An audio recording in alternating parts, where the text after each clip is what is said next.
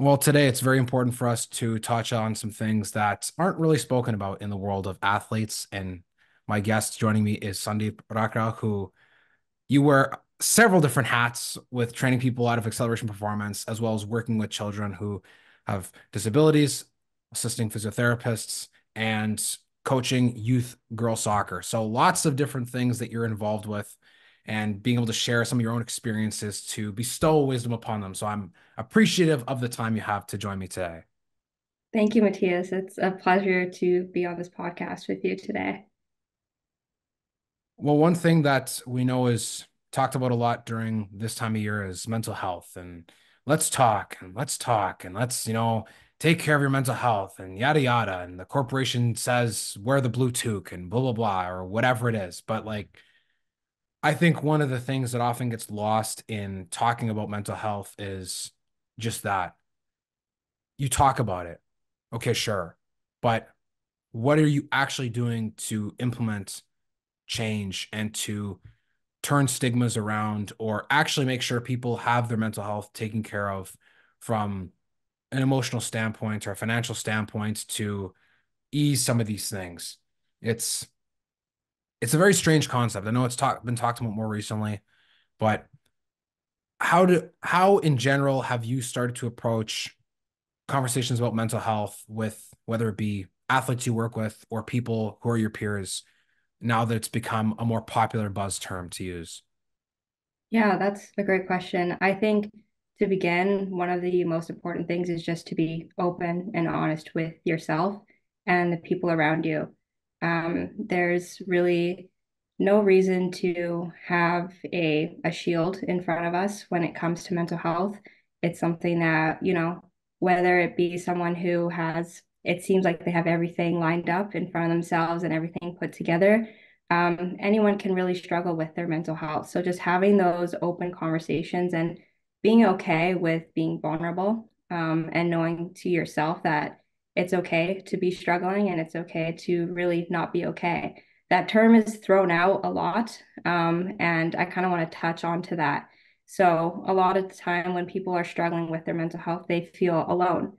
Um, and when we say you're not alone, it doesn't mean that you're not alone in this world, um, which is one aspect of it. But when people feel alone struggling with their mental health, they often feel that no one understands what they are going through um, which is where you know a lot of people struggle to say that I'm I'm going through something right now. So I think one of the first steps is honestly reaching out to someone who you trust, um, whether that be a family member, whether that be a friend, a coach, and just having that open conversation and laying things out on the table.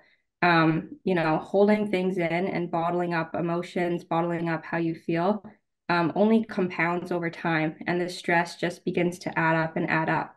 So detecting, you know, kind of going inwards, um, looking into yourself and looking at external factors in your life and almost viewing it as a way to take upon layer on layer um, and really diving deep into it, I think is one of the first steps um, to to kind of go into the conversation of mental health that's such an important thing you shared when it comes to taking action is being able to trust in somebody. And I think that's one of the maybe what comes first, the chicken or the egg, the hardest things to grapple with is how do you put trust into another person or how do you feel that you can have that conversation without the worry of someone sharing it, them having an ill reaction or whatever it may be, because in some cases it could be that they don't share because they've tried or they know how reactive people are they could be almost hyper aware of their right. surroundings and then so they so they maybe bottle up even harder or try to avoid saying anything and i think that's uh again it, it can be a bit difficult but it can be yeah it's often a, a coping mechanism as well that we we take. I mean, it's personally something that I've struggled with in the past. Um, and you know, having those conversations and opening up and I think relating and having those communications is what actually brought me into a place where I felt more safe. Um, and so it is it is very difficult initially. Um, and finding those people who you trust as well can also be a challenge. So it it really comes down to um, what makes you feel comfortable at the end of the day. When you have these conversations with your athletes, you coach youth girls in soccer.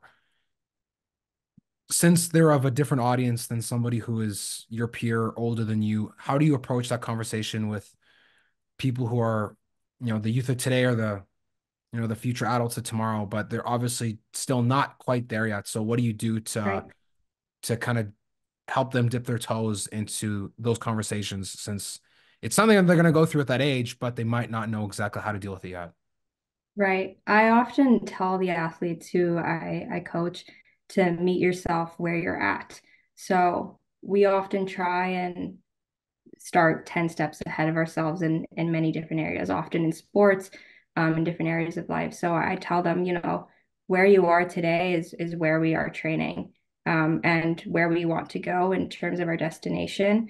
Um, we will work towards that, but we are taking steps to get there. Um, and everyone's path is going to look a little bit different. I remind my athletes almost every practice that this is your training and we are doing this for you um, and this is not for anyone else. So um, really be mindful and try not to compare yourself in uh, compare yourself to the other athletes who we were training, compare yourself to who you were, say, a year ago as an athlete, but just trying to be honestly better than the athlete who you were yesterday. Some uh, exercises that I do with my athletes.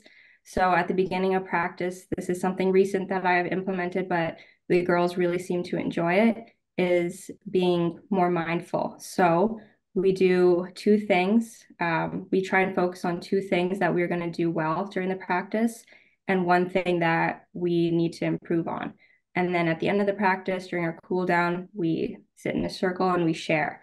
Um, and so the reason why I get them to do two things that they're doing well is for them to um, notice and appreciate, you know, the good things that they're doing during practice. Often we overlook any of the things that we are doing well, and we are very self-critical on ourselves, and we only notice the bad things. And then we could have a great training session, um, be doing very well during practice or games, but one thing that goes wrong and it throws our entire mood off, right? So I try and get them to notice two things that stand out to them that they do well and not to hyper fixate on it, um, but just, you know, just a small thing. If they made a great shot or a good pass, just recognize that and then something to improve on. Um, and then at the end of the practice, when we go around, we we mention the things that we need to improve on we take it a step further. What is an actionable step that we can take to improve for next time? So if it's someone saying, I need to uh, improve my first touch on the ball, uh, what's an actionable step?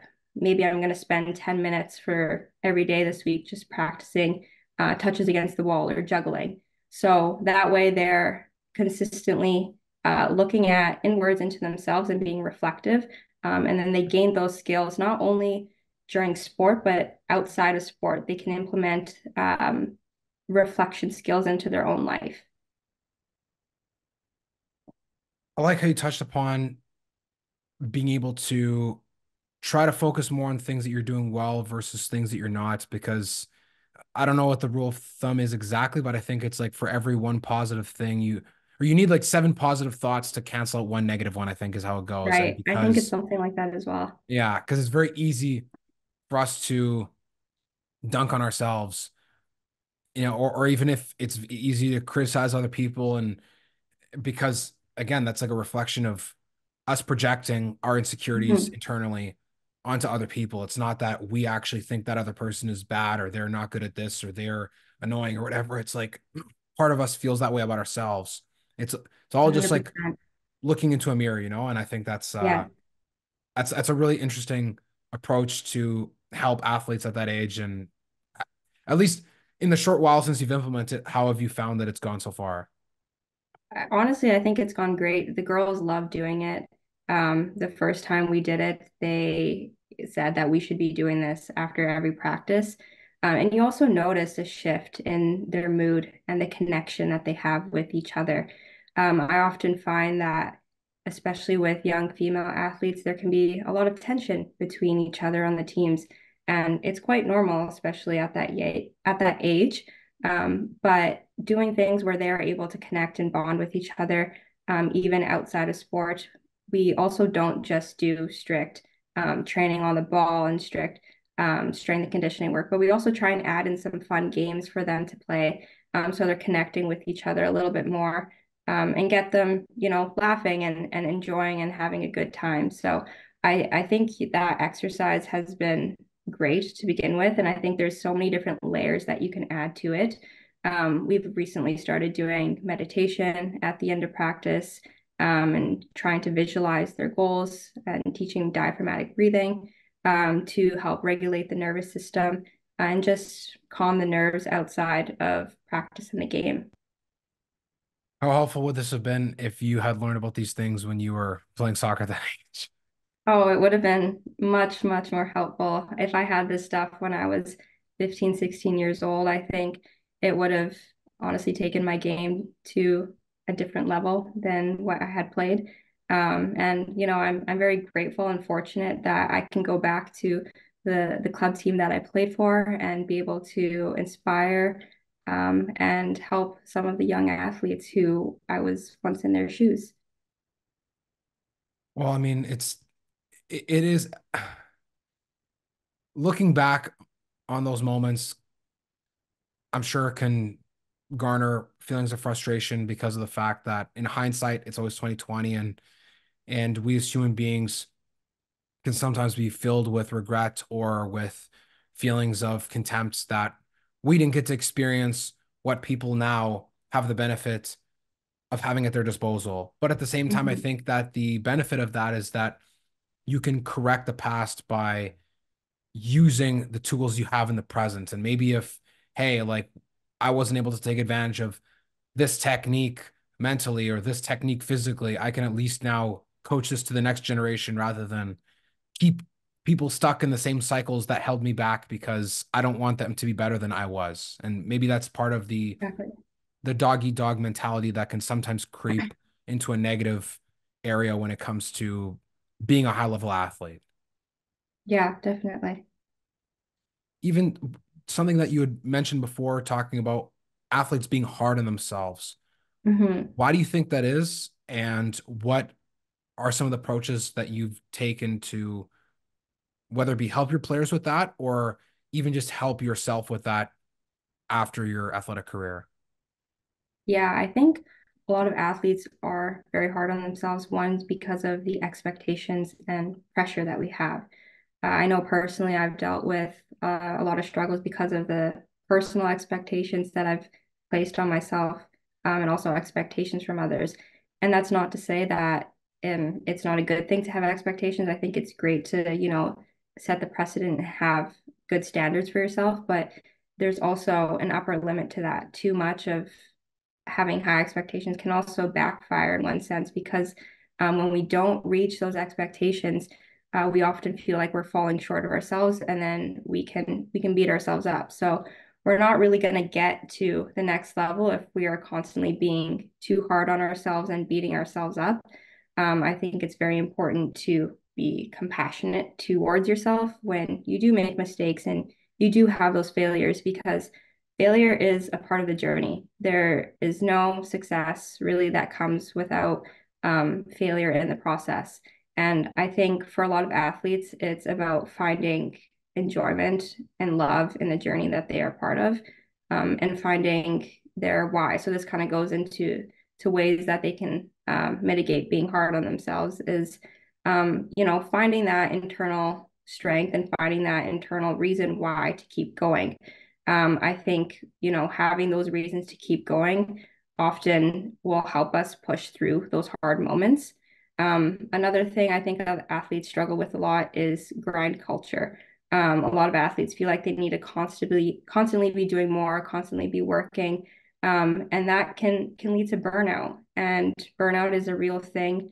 Um, it affects our sleep, it affects our diet, um, it affects you know our performance in game it even affects our, our ability to focus in school and in everyday day-to-day life so um, taking a step back and you know recognizing when you do need a break i say this all the time to my athletes and i say it to myself now you have to meet yourself where where you are at where you are at right now. You are not 10 steps ahead of yourself. So you're not who you were um, two weeks ago, even.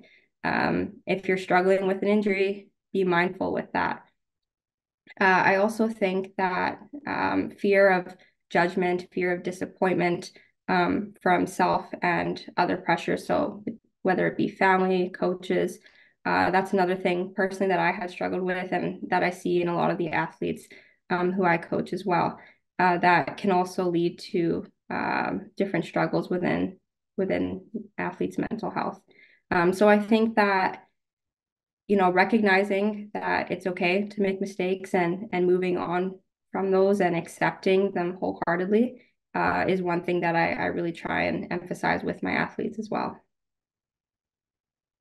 I feel like that's something that again can apply all, of course, to more than just athletes, mm-hmm. but thinking about how to meet yourself where you're at and balancing balancing the the expectations that you have versus the reality of being a human being what were some of the things that you have done to make you feel that you are taking care of yourself as much as you need to and also that you're not using as an excuse necessarily to slough off or to reverse some of the progress that you've made when mm-hmm. you're in a flow state? No, I think that's a great question. Um, personally, there was a period of my time where I felt I was everything was a setback. And in those moments, I could not recognize that these quote unquote setbacks or these failures that I'm experiencing right now are actually um, in place to help me set me free um, and to provide me different perspective on what my situation is and how to move forward. So I think one thing is um, having a perspective shift. So our our thoughts, our feelings, and our behaviors are all connected in a feedback loop. So um, you know, taking action towards a goal, taking action towards a step, um, it it often has a domino effect for us to keep going. So for me, when I was in a period where I felt like I couldn't do anything. It was about starting very, very small. So recognizing my small wins um, and building small habits on top of that. Um, it wasn't about overloading myself. It wasn't about, um, you know, feeling like I need to do too much. I think that was one thing that myself and a lot of other people struggle with, especially um, in this day and age, is feeling that we constantly need to be on the go. So slowing down actually was one thing that helped me a lot. Um, slowing down and having the power of pausing. Um, I think reflection and and being still uh, is very important. And when things are chaotic, you're not really going to be able to have those moments of creativity um, and moments of good reflection. So so really taking a step back and um, telling myself that I I really cannot pour from an empty cup. So recognizing that being or self-care is not selfish um, and taking time out for myself, um, whether that be from sports, whether that be from school or from work, um, getting myself back to a spot that I need to um, so that I can show up better, not only for myself, but for others in the world as well, um, is something that that I really emphasized on during my healing journey. Um, and also to mention that my healing journey um, and many of our healing journeys is not a linear thing. There are so many ups and downs. Um, it can really be a roller coaster. So, giving yourself that grace and that compassion, um, knowing that you don't always have to be moving forward, forward, forward constantly.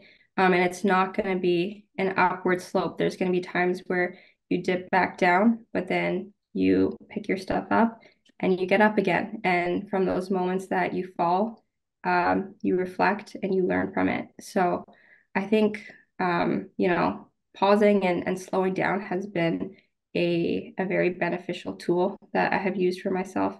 Um, cognitive behavioral therapy is uh, one of the standards that is used across um, many different treatments.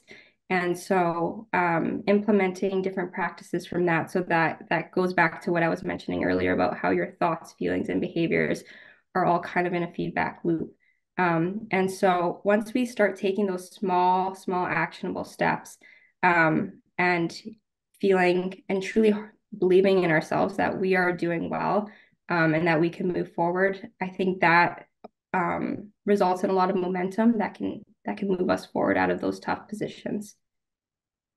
One thing that I thought of with what you were saying is this quote I heard recently related to failure and fear of judgment. It's not that we fear failing, it's that we fear the judgment that will come from others when we fail. Mm-hmm.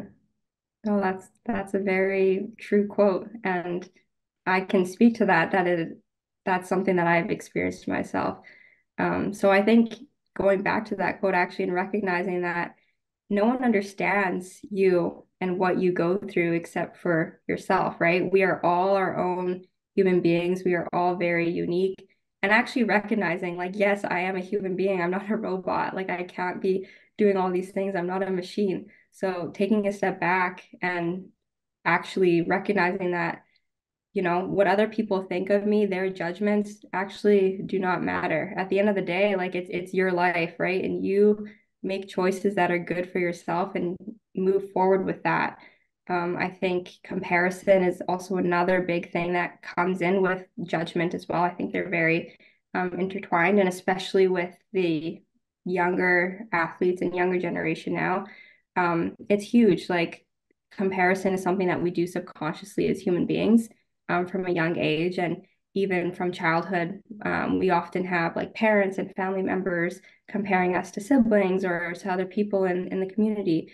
Um, and now with with social media it's it's you can compare yourself to anyone at just the click of a button. So i think recognizing that we the, the only person you can really compare yourself to is yourself right? And that's not even comparing yourself to who you were um, you know, two weeks ago, a year ago, comparing yourself to who you are right now, um, and trying to be better from this moment on. That's it's a topic that I touch on a lot with my athletes, and again, I'm touching on it again. That we just have to meet ourselves where you are right now. One of the one of the first things that comes to mind when you talk about us, you know, the thief is the comparison, or it's comparison is the thief of joy. That's how it goes. Mm-hmm. And um, I can't help but think of the impacts that our upbringing and our family and the culture that we live in has on comparing ourselves to others. And I know even it, it exists amongst many cultures in the world. And I'm sure even, you know, the the one clip I think of is there's a one of the uh, throwback to if the listener would even remember one of the very original JusReign videos. He talks about, you know, like with Desi parents in school. And he's like, you know, he's like back in the mm-hmm. days, like he's like, and our parents would compare each other, like the homies would compare Pokemon cards, and it just shows the, the mom and the dad going back and forth about like, yeah, like my son got accepted to Harvard, my son got a, called by Obama, yeah, my son's going to Mars, and my and then just they go back and forth throwing these these one ups on each other, and I feel like, of course, it's exaggerated but at the same time, like the purpose of that humor is to show to shed kind of some insight as to insight as to like you know like kids who grow up in you know a, a South Asian household like they exp- are they experience that a lot or if they make jokes about people who grew up in another part of Asia or even in Europe I know too it's something that I've experienced mm-hmm. and whenever you you always get compared to someone better than you but then when you compare when you try to rebuttal or re- refute it by comparing yourself to someone who's worse than you, then mm-hmm. then it's invalid. It doesn't count, right? It's only only when you're compared to someone who's better than you, then that's when you're not good enough. But when you hey, yeah. you're better than uh, John or Jane, well, you're already better, so it doesn't matter. Forget about it. So it's just I don't know. It's a it's a very unfortunate conundrum. I feel like we've been exposed to as kids, mm-hmm. but at the same time, I think like again, you can't change your childhood experience. You can only go forth and be like, hey, like I'm here right now how can I make myself better than I was yesterday versus because again, if you if you compare yourself to other people, like you'll just live miserably into perpetuity. 100%. I love that you brought up JusReign. Like shout out JusReign. I hope you hope you come back with more videos. Like brown community misses you. um, no, but I I 100% agree with everything you had just mentioned. Um, I think that, you know, the process that we go through often as kids um, with the the comparison and, and growing up in a society like today, um, it can be it can be quite difficult. Um, so having that moment of reflection just towards yourself um, and being okay with yourself, I think is super important, especially for our young athletes. If you were to give advice to somebody who, let's say, wanted to do whether it be training or whether it be they're an athlete, and you could look back, let's say, to your early 20s or to when you just first turned 20, what advice would you mm-hmm. give to somebody who is in a position like you were at that age? I feel like there's there's so many things that I could pick upon. Um, in terms of training, I think I would tell people that, you know, take things not too not too too quickly, I would say. Um, I think for myself, when I was at that age, I'm I'm 23 right now, so I'm still in my early 20s actually. But when I was, you know, 18, 17, I I just wanted to go and I wanted to um, try and get to the next level. I wanted to be, um, you know, the strongest person that I could be. And I think, you know, moving too fast and, and growing up, um, you know, around a lot of people who had a similar mindset and were in that sort of state, um, it, it took a big toll on my body. Um, I actually started training um, in the sense where I, I wanted to reach different PRs in the gym. And um, I, I stepped almost outside of the training of soccer for a while when I took a break from it. Um, and that that kind of tore apart my body. So I think in that sense, um, I would tell people, you know, don't don't try and go to guns blazing on your training um, and that your your body doesn't forget when you train you know? Like a lot of people think like oh you know if i miss a day of training like i feel guilty about it right? And i, I used to feel that all the time um, but i'm like no like I, I trained like three or four times this week. My body doesn't forget that i i just did that work and it needs that rest. So prioritizing your rest and your sleep your your nutrition um, getting outside and trying different types of training um, I think would be my advice to myself before. Um, now I try different, so many different types of training, and it's also great for my mental health because I don't feel like I need to constantly be doing the same thing. Um, I try different types of classes. Um, I I recently picked up kickboxing, which I really like, and um, different forms of martial arts. Muay Thai has been really cool. Um, I really enjoy swimming now, and just trying different outdoor activities. So you don't have to feel confined to who you are and say your sport. Um, I think that's another thing that I I had labeled myself almost as I'm this athlete. Um, I have this outcome that I want to reach, and I want to do everything I can to get there. And then when I didn't get there, when I didn't reach the expectations of myself, I felt like I fell short. So that's another thing. Um, try not to label yourself as I am this person, I am this athlete, because we are so much more than that as human beings. We have so much more to offer, um, also just outside of our sport itself, right? So recognizing there are many different avenues that we can tap into, tap into our own potential, um, whether that be in our own body. Um, you know, I've, I've adapted my training so much. I think you have done also a lot of similar training um, through Alliance as well. Uh, and uh, it, it, has made the world of a difference. Um, and also taking a step to recognize like I'm I'm not only just a soccer player. Uh, I'm not only just you know a strength coach. I'm not only just this, but I'm I'm so much more in other areas of my life as well, and I can explore and try new things. And if I'm not great at it, and if I don't do well, that's okay. It's a learning experience, and I can learn and grow from that. I'm just trying to have fun and enjoy the process, right? We often view the destination, and this is another thing that I would also tell myself is don't be so hyper focused on the destination, right? We we often look at our next goalpost. Um, we look at the next thing that we want to accomplish without recognizing, hey, I'm actually in the journey right now. Like this is the dream that I was working towards.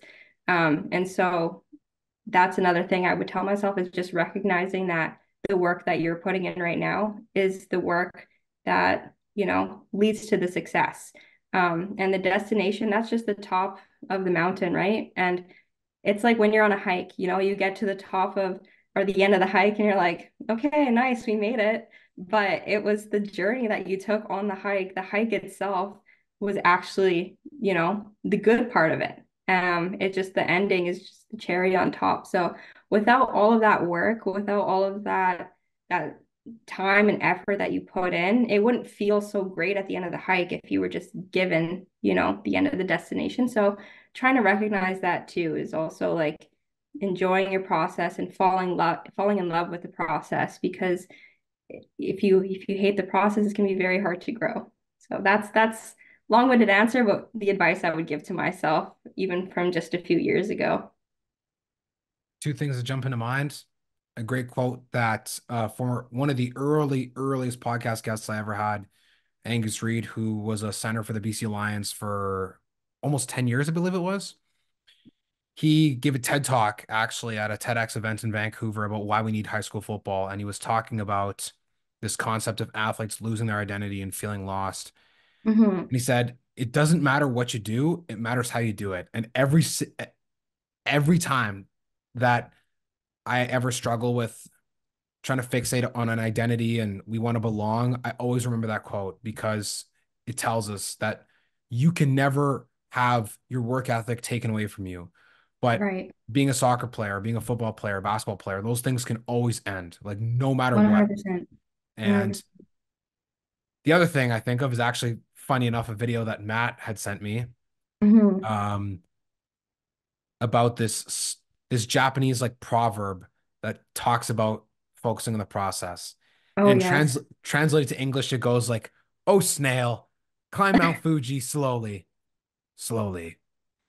And I sat there and listened to like the whole explanation psychologically about why it's like think of a snail climbing Mount Fuji. Like that's insane. Mm-hmm. Like how mm-hmm. the hell could you get to the top as a snail? But having said that, of course, the point of doing something is to arrive at a place. So you don't just do it for the sake of doing it. But right. having said that, you still need to understand that 99.9% of the time is spent getting there, not being there.